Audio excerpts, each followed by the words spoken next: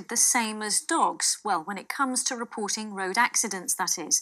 That's what a woman from Harrow is campaigning for. Her cat was run over and killed while she was on holiday, and she didn't get to bury him. Julia Manns now wants it to be compulsory for councils to scan cats hit by cars for microchips so that they can be returned to their owners and given a proper burial. Frankie McCamley has more.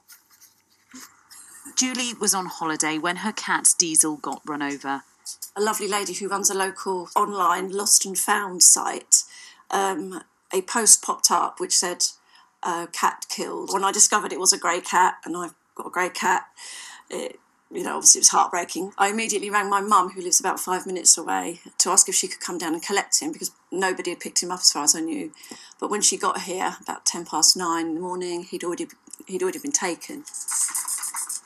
She didn't know where he'd been taken, so called the council.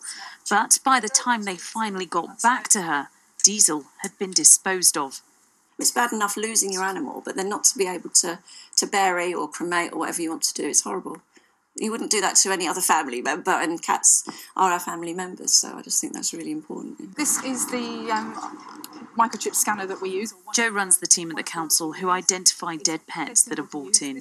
We have a, a procedure in place that if a cat or any animal is collected by the local authority, we scan it for a microchip. If a microchip is found, we record that microchip number, we look it up on the database and find out if there is an owner and notify the owner as soon as as soon as possible.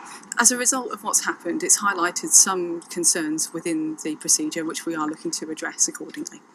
UK law states that if you hit a dog with your car, you have to immediately report it to police. However, that's not the case when it comes to cats. Campaigners want to change that, though. They want to give both of our pets equal rights. As well as writing to all London councils asking for policy change when it comes to registering dead cats, Sian Berry is also supporting a bill to change the law if this bill passes, it will make a real difference um, in a small way to lots of people. Uh, it will clean up a gap in the legislation where cats are not treated the same as dogs, even, and it will ha- save the heartache of a, a, lot of people when they lose um, what is a member of their family.